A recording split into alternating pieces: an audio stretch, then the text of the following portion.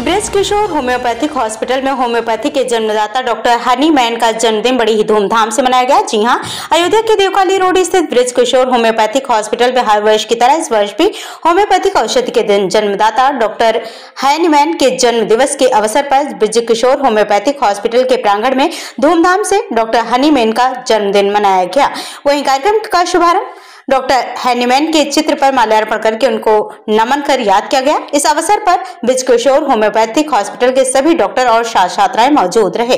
Doctor Hahnemann के जन्मदिन के अवसर पर बिज किशोर होम्योपैथिक हॉस्पिटल के छात्र छात्राओं ने रंगारंग कार्यक्रम प्रस्तुत कर दर्शकों का मन मोह लिया और इस अवसर पर ब्रिज किशोर होम्योपैथिक हॉस्पिटल के प्रधानाचार्य doctor Vijay Kishore, homeopathic college के टॉपर छात्र छात्राओं को मेडल और मोमेंटो देकर सम्मानित कर छात्र छात्राओं के उज्जवल भविष्य की कामना की गई। वहीं ब्रिज किशोर, होम्योपैथिक हॉस्पिटल के प्रधानाचार्य उपेंद्र सिंह तोमर ने बताया कि होम्योपैथिक के जन्मदाता डॉक्टर हैनमैन के जन्मदिन को हम लोग वर्ल्ड होम्योपैथी डे के रूप में धूमधाम से मनाते हैं और वहीं इस उपलक्ष्य में हमारे कॉलेज के एक साइंटिफिक सेमिनार का आयोजन किया गया और इस अवसर पर जो भी कॉलेज के छात्र छात्राएँ टॉपर है, उनको मेडल देकर, मोमेंटो देकर सम्मानित किया गया है।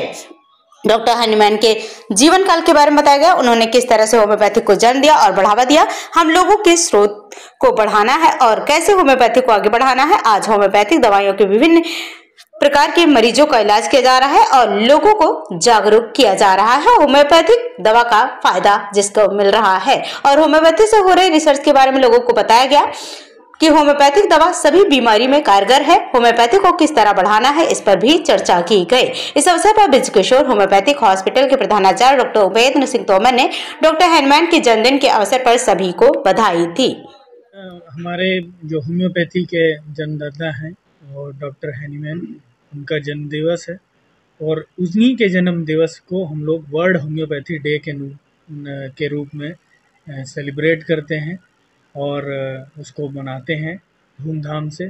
उसी उपलक्ष्य में आज कॉलेज में हमारे एक साइंटिफिक सेमिनार आयोजित किया गया है, जिसमें सभी जो बच्चे हमारे टॉपर रहे हैं, उनको मेडल, सर्टिफिकेट और हमारे डॉक्टर हैनीमैन साहब जो होम्योपैथी के जन्मदाता थे, उनके बारे में एक स्रोत कैसे आगे बढ़ना है लाइफ में, होम्योपैथी को कैसे आगे बढ़ाना है होम्योपैथी से कैसे उपचार विभिन्न प्रकार के नए नए जो रिसर्च हो रहे हैं उसके बारे में जानकारी दी गई।